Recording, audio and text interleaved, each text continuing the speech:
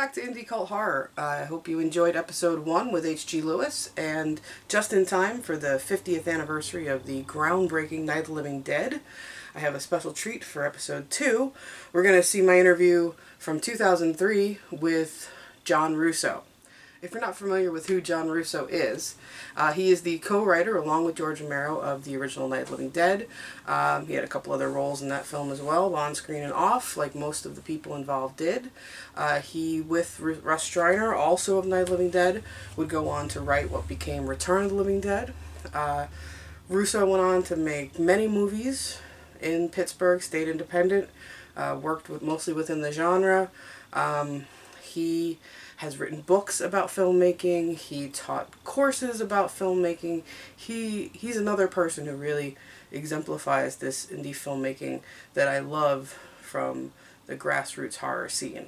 This interview is also from the 2003 Fangoria Weekends of Horror. It's actually the next day after the interview you saw with H.G. Lewis. Uh, Russo was kind enough to let uh, let us do the interview uh, right before the show started. So I do apologize. You're going to hear some background noise.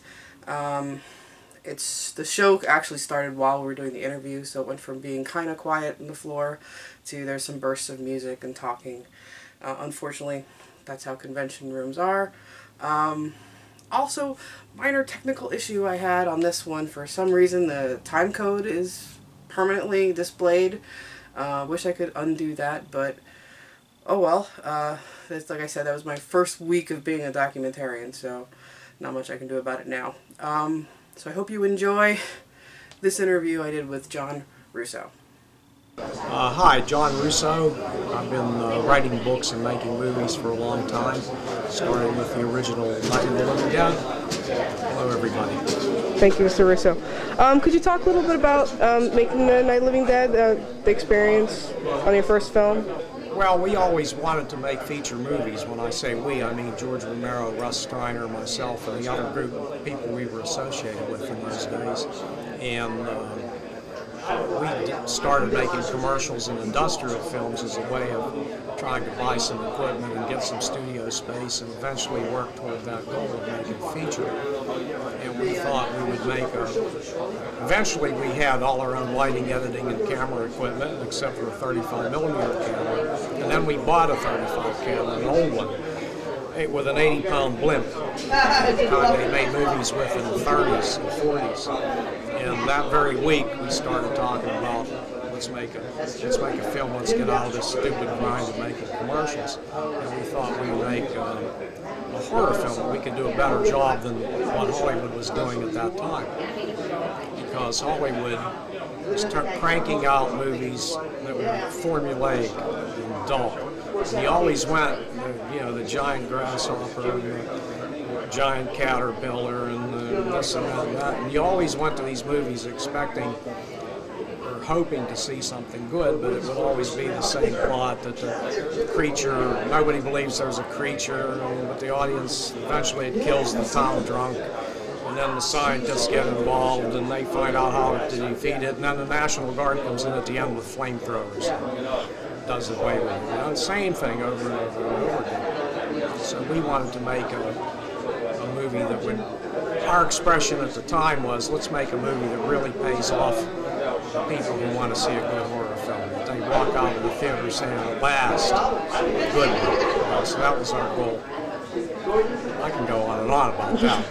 Oh, why did you choose horror for your first uh, film? Well, like I said, we thought we could do a better job at making a horror film than what Hollywood was doing at the time. I had seen two movies that really impressed me showed me that something good could be done in the genre. And those two movies were the original Invasion of Body Snatchers, which I didn't know what I was going to see. I was home from college on a break, walked into the theater, and the people coming out of the 8 o'clock show had these stunned looks on their faces. And I thought, oh man, they look like they've been to a funeral. You know, what the hell is going on? I saw that picture and it just blew me away. It was, I think it's a great movie. And the other one is not strictly horror. It was uh, Mysterious Planet, but it had monsters from the id, which was came from the mind of the people on this planet. And those, that was a pretty powerful movie and scary as hell. It, it had, you know, science fiction but horror aspects to it. And I said, oh, okay. If we can make a movie that has that same power, then we'll succeed. I want people to come out with those same stunned looks on their faces. So that's why we didn't. In fact, we killed off Ben at the end. You know, I said in one of our script meetings that, um, you know, you can't have. Pennsylvania's a big deer hunting state. And every year, all these hunters and inexperienced people go out with guns, and they, seven or eight of them get accidentally shot every year. So if you have these posse members going out, and vigilantes basically gunning down zombies, and zombies look more like a person than a deer does, somebody get killed by accident, and wouldn't it be ironic if it were our own, own hero, Ben? So everybody said, yeah, let's do it. So that's the ending I wrote. However, first ending, you might be interested to know, the girl didn't die, Margaret didn't. The sheriff came in with the same guy that shot Ben. They're working their way down to the basement. Barbara's down there, and they have their guns ready. And they turn the corner, and they're all ready to drill her until one of them spots a tear roll, rolls down her cheek. Corny, you know.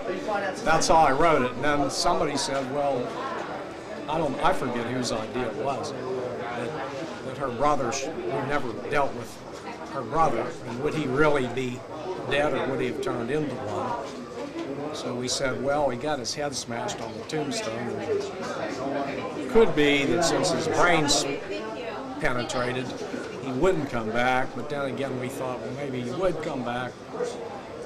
We're inventing these flesh-eating zombies as we go along too. Nobody had done that before.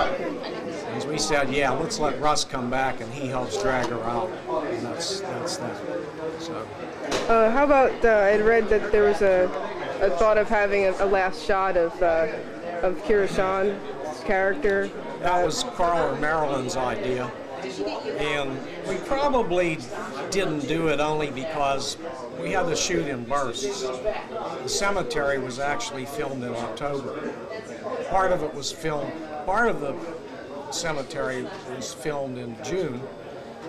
We had 19 days shooting, then we went back for some more shooting, then we went back to the farmhouse in the fall, and it was, we didn't know if it was going to rain or what, but the leaves were off the trees. It was lucky we had pine trees in the cemetery. But lucky we we're shooting black and white because some of the leaves had turned color. And, um, and just because of that situation, we wanted to finish the film. And we said, let's do fail-safe kind of ending. Fail-safe ended with a nuclear bomb was going to drop, and then they freeze framed, and then you saw these looks on the people. You knew they were doomed.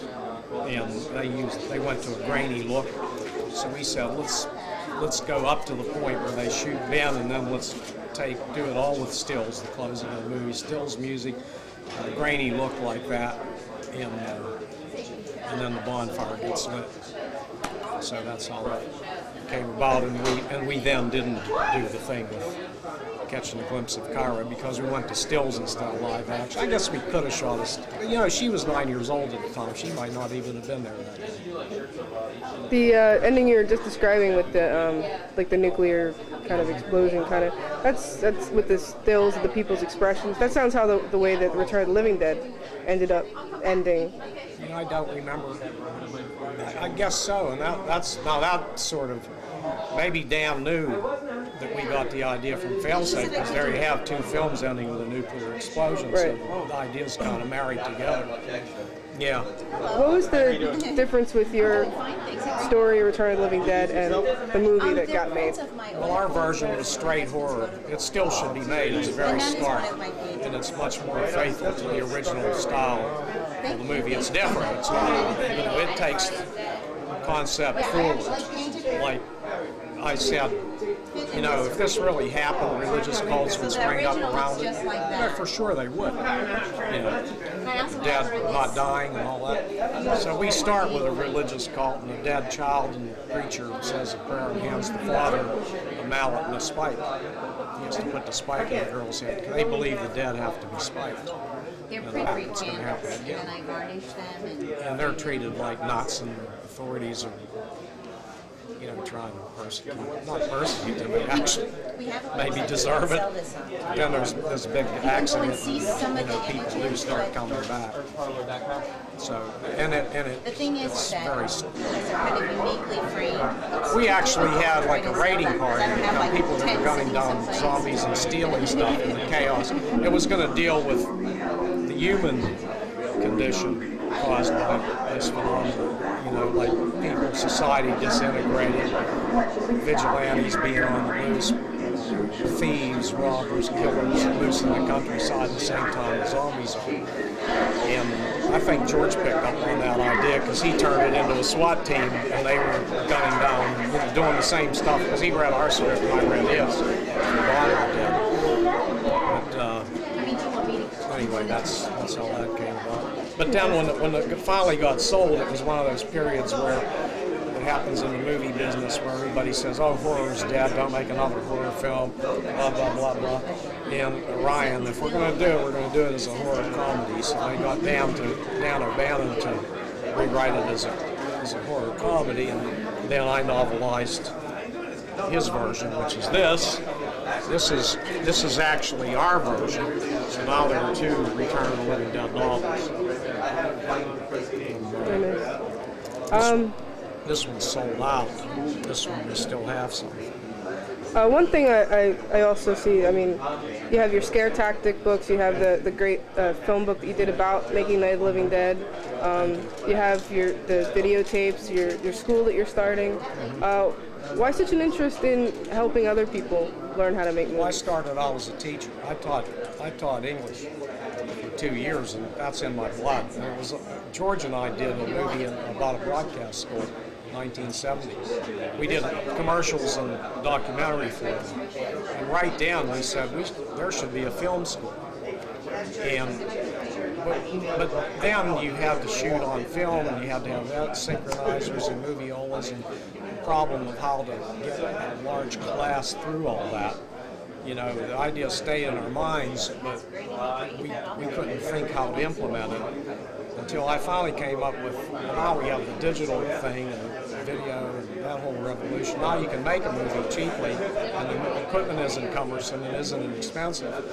And besides, so many people know how to use these cameras that, and they don't need to learn that. What they need to learn is how do you direct for film, and how do you light professionally, and how do you, what's the difference between uh, know, what makes something sell and what makes it smooth and professional and, and, and, and the stuff that's done by people who don't know that yet. So that's that's what I teach, and that's what this book's all about. And the first one, making movies, gets into the nuts and bolts pretty much because the publisher wanted that, and then this takes it forward with the more creative end of it. So Now the uh, the kind of I guess you could say your own film scene that came in Pittsburgh because of you and Romero and all the people who were working together there.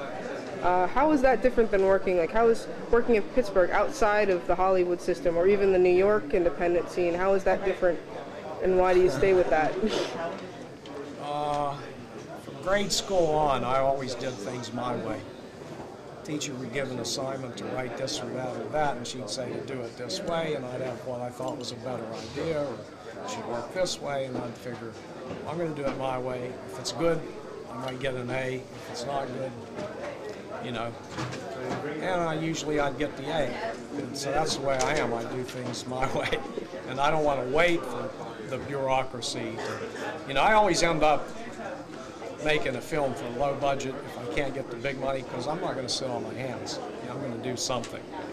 And a lot of times, you know, I mean, obviously you can make a better movie a lot of times if you have a little more money. Things, but I've learned, I've gotten very good at making low budget stuff look like bigger budget stuff, sort of pulling it up by its bootstraps, which is again what I teach in the books and the, you know, the workshops, seminars.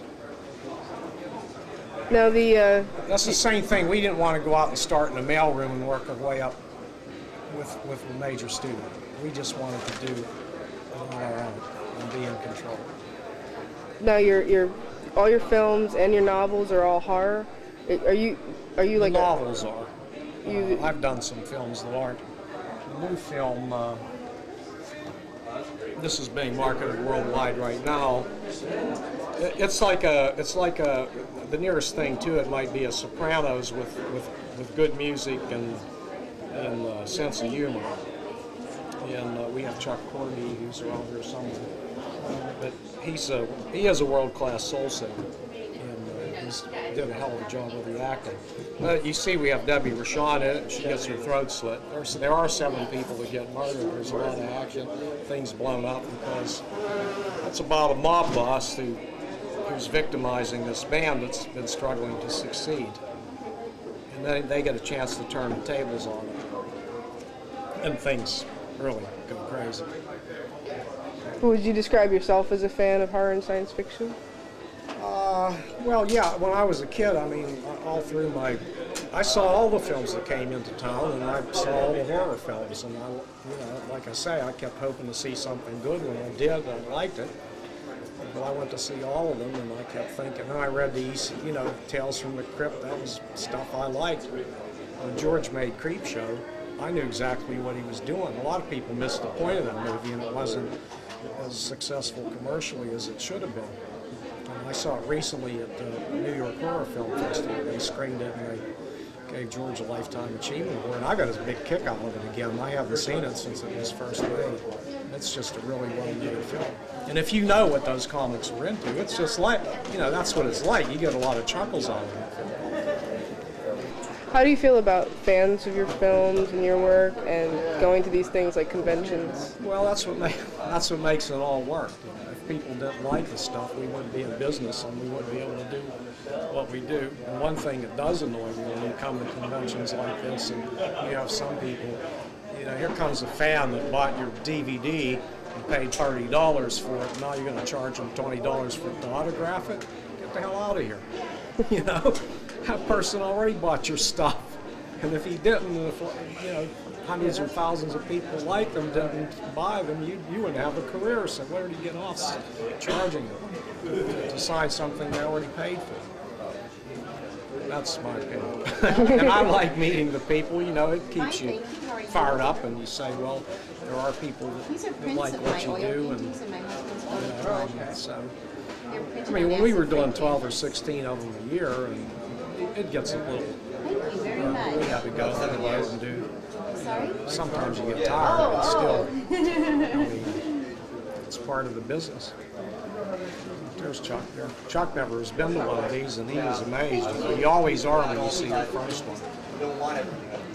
Uh, last question I had for you, uh, Mr. Russo, is Yeah, I better start paying some. yeah, um, the uh, if if uh, Universal Pictures or one of the major companies were to come to you tomorrow and tell you you could have carte blanche, however much you want, and complete control, or you had a project lined up that you'd rather be doing on your own, which would you do? Would you would you rather stick to what you were doing and your own? My temperament is to do smaller movies about people rather than the stuff, hundred million dollar pictures with all these special effects and the, you know the, all that stuff. It doesn't interest me so much. I can be entertained by it. Like you know, I really wanted to see um, Saving Private Ryan because I mean that's great. They recreated what that landing was. And that, on the same token, I wanted to see uh, Gladiator because I, I wanted to experience what those days in Rome were like because I'm into that. And but I, look, if they let me do something that I wanted to do, I mean, which you know, you always have to sell them on something. Um, that would be one thing. I kind of lost track of the question. Uh, Would you prefer to stay independent and work on your own, or would you do a project Well, studio? you, you sort you can have both if they give you enough creative control. You know, just let me do it. Give me creative control. I've had that happen. I've had them say, "You make the movie." I'd also have them say, "You have creative control," like on Children of the Living Dead, and I didn't. It was a nightmare. You know, it's like welshing on the deal, and then you're stuck. Uh, so everybody has these. They're horror stories, business horror stories. Every single person that's been around for a while has these stories. Like Tobe Hooper tell me, he said he made Invaders from Mars. They bought the property, H.G. Wells, I think, now they want to make invaders from Mars. Now he starts making invaders from Mars and shooting it. And they said, you know, we don't really like the fact that they come from Mars. Couldn't you rewrite it and have them come from somewhere else? And Tony said, well, you, bought, you got invaders from Mars. Where do you want them to be from?